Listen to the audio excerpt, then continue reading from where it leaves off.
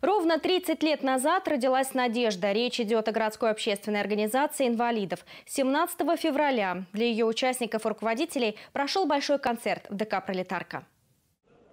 Надежда объединила и взрослых, и детей, людей, у которых есть ограничения по здоровью. Но есть уникальная возможность общаться, помогать друг другу и быть в центре внимания. Через творчество можно преодолеть одиночество и найти друзей.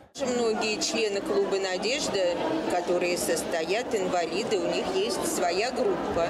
«Поющие сердца» называются. Они поют, выступают, ездят по области и не только. Всего за 30 лет Надежде удалось объединить более 200 человек, в том числе 43 ребенка, вселить каждого из них уверенность в завтрашнем дне, обеспечить социальную адаптацию и интеграцию в общество.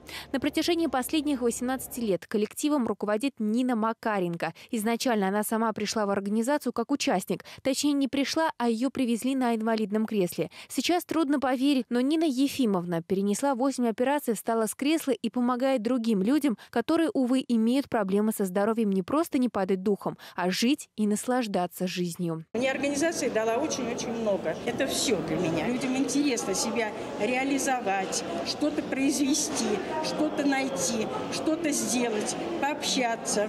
Клуб «Надежда» реализует ряд социально значимых программ. Мы вместе, совместно с геронтологическим центром. Наши школьные друзья, совместно с учащимися и педагогами школы номер 20 Твери. И это далеко не все проекты.